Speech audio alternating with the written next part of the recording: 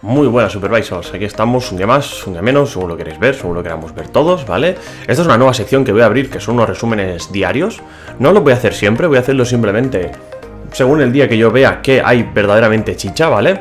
Pues lo vamos a ir haciendo y así pues podemos resumir un día entero tranquilamente en menos de 5 minutos, ¿vale? Los otros son resúmenes en un minuto, que es una única noticia, la resumo en un minuto, ya lo sabéis, las hago bastante dinámicas tal y cual, pero ahora vamos a resumirla en tan solo 5 minutos Vamos a empezar, Lost Ark como bien muchos sabéis, Lost Ark eh, se ha estrenado como el segundo juego más jugado en simultáneo de la historia de Steam, ¿vale? Con 1300, no sé cuántos millones, en fin, una puta barbaridad por debajo de PUG. Es una muy buena noticia para este juego que es de Amazon, que la verdad es que está invirtiendo dinero y no consigue engancharse bien al mundo de los videojuegos.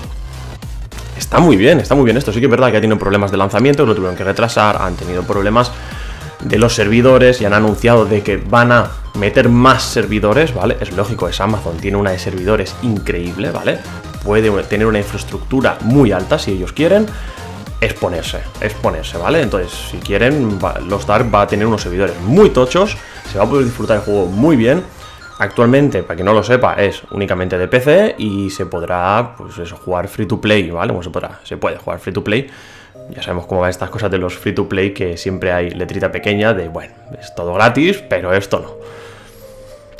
Ya sabemos cómo van estas cosas, ¿vale? Pero está, está muy bien la noticia. Me ha gustado mucho saber que un juego de Amazon le pase esto, porque más allá que nos guste o no nos guste el juego, lo bueno que tiene esto es que nos va a permitir una cosa muy sencilla, que esta gente crea en sus videojuegos y sigan apostando por ellos, es decir, tendremos nuevos videojuegos próximamente, me parece muy buena noticia, así que estoy muy contento por ello.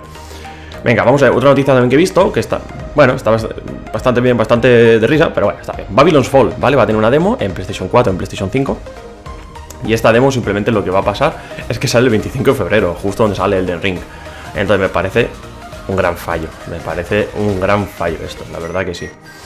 Veremos a ver si lo consiguen solucionar, a ver si lo cambian de día o algo, pero no tiene pinta. Tiene pinta, se va a quedar el 25 de febrero y va a salir con el Den Ring, así que se van a comer los mocos. Está claro que no todo el mundo le gusta el Den Ring, entonces alguien se lo bajará y aquí lo probará, pero me parece bastante mal, la verdad. O sea, me parece que han cogido una fecha muy equivocada. Y más teniendo la semana anterior que no había nada. Esta semana está el Horizon, la semana que viene el Den Ring y la otra semana tenemos Gran Turismo. Entonces, has cogido muy mala fecha, yo creo. Pero bueno. La otra noticia es Horizon va a tener dos discos, ¿vale? En la versión de PlayStation 4 en físico, claro está.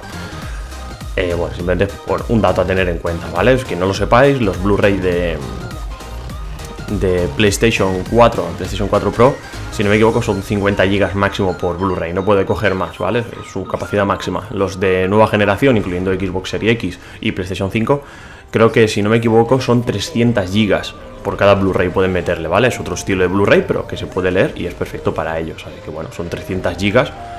Por eso vendrá en un solo disco en Play 5, no hay ningún tipo de problema. Que a ver, que tampoco ningún problema ser tus discos. Pones uno y cuando se instale pones el otro. está, tiene más historias, ¿sabes? Eh, estilo Cyberpunk, vamos. La otra noticia, Sifu, ¿vale? La gente se está quejando un poco de que es difícil, de que cuesta mucho, no sé qué, no sé cuánto, y bueno, pues nada, finalmente pues la compañía ha decidido sacar un selector de dificultad y más accesibilidad. Este selector aún no se ha puesto fecha, pero ya se sabe de que saldrá simplemente pues, los estilos típicos, ¿no? Pues el fácil, el normal, el difícil y posiblemente un nivel extremo. No han, explicado si van a meter este estilo que se lleva mucho ahora, que sería él. Si lo juegas en extremo y lo juegas en difícil, pues tienes unas habilidades extra que puedes conseguir solamente aquí, ¿vale? Entonces, esto también estaría bastante interesante. Veremos cómo qué, pasa en este caso, ¿no? Qué actualización meten, pero está bastante interesante.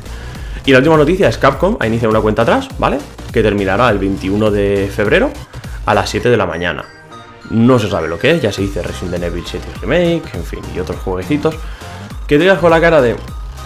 Puede ser un evento, que un evento que lo anunciarán un poco más adelante cuando quede poco tiempo, oye, vamos a hacer un evento, que pongan un vídeo, simplemente que anuncien por eso un artículo en su página web, no se sabe, ¿vale? Habrá que esperar a ver qué es esta cuenta atrás, qué no quieren hacer, simplemente esto es crear hype, crear expectativas y veremos a ver luego lo que nos sacan aquí. Pero bueno, en fin, está bien saber esto. Así que nada, gente, os he resumido un poco las noticias del día. Puede ser que salga alguna que otra hoy, pero bueno, os he resumido hoy lo más importante.